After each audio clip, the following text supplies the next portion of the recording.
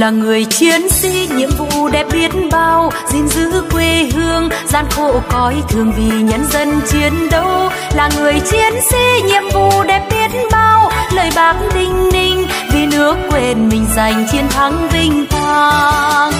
Nêu cao truyền thống, thời trần đinh xưa nay cháu bạc hồ, đảng cho anh một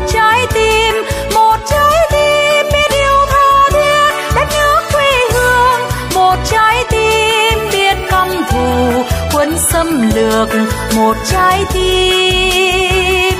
Rực lửa anh hùng. Cuộc đời chiến sĩ giản dị thật đáng yêu. Một chiếc ba lô, một khẩu súng trường một ngôi sao trên mũ. Cuộc đời chiến sĩ giản dị thật đáng yêu. Một túi lương khô, một tấm vải dù một đôi dép cao su.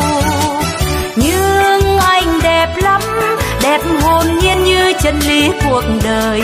Vì anh có một trái tim, một trái tim biết yêu tha thiết, đất nước quê hương. Một trái tim biết căm thù quân xâm lược.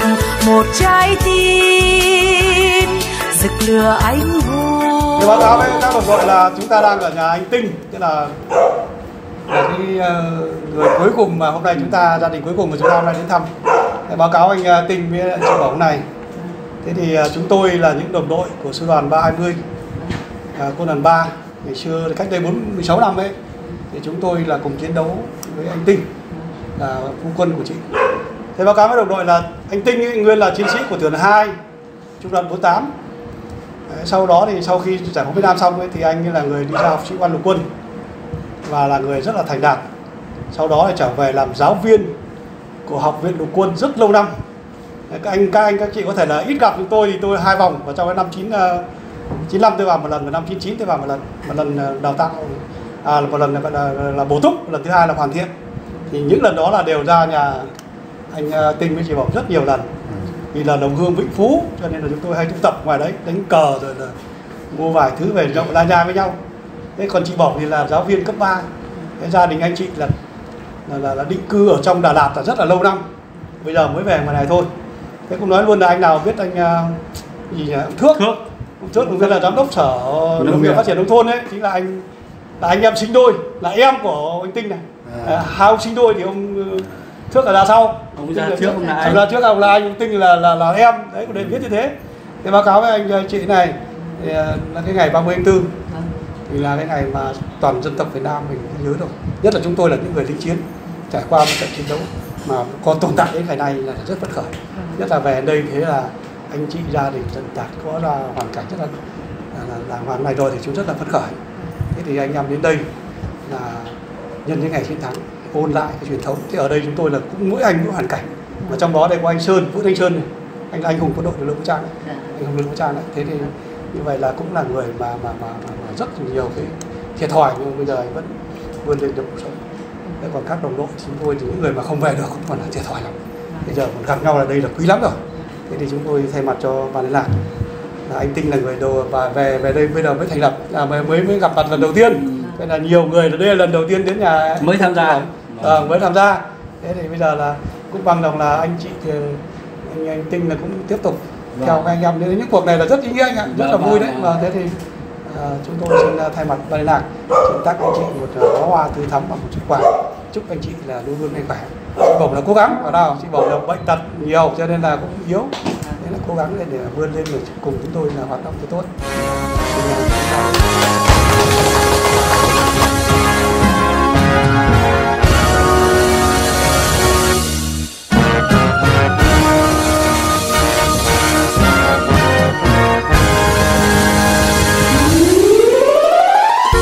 Música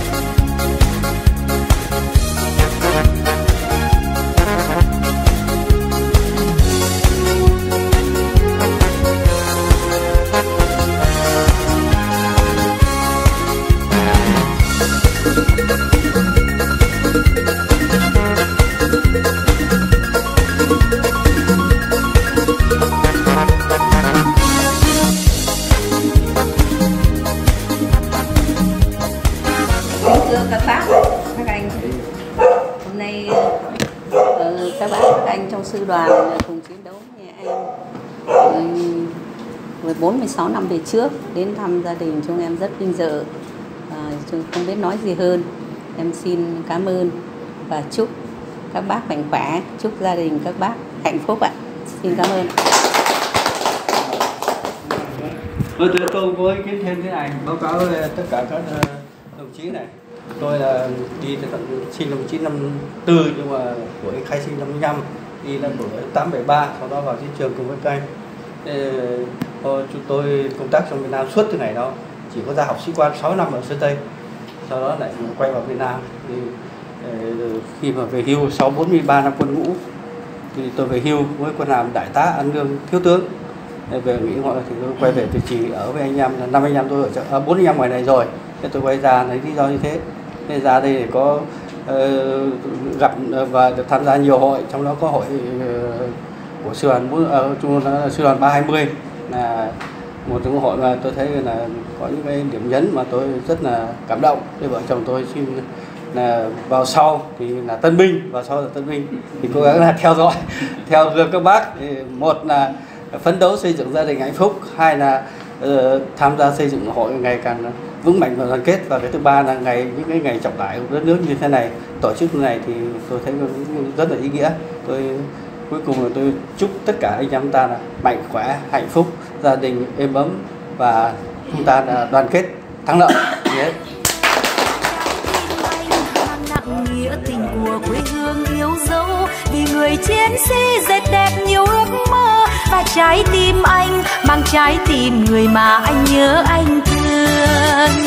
Ôi, sao đời lính vượt đường xa anh, có trái tim hồng, người chiến sĩ, một trái tim, một trái tim biết yêu tha thiết đất nước quê hương.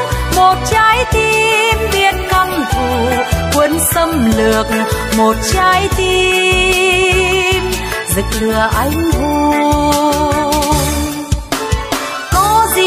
Bằng trái tim, đẹp bằng trái tim. Người chiến sĩ, có gì đẹp bằng trái tim? Đẹp bằng trái tim.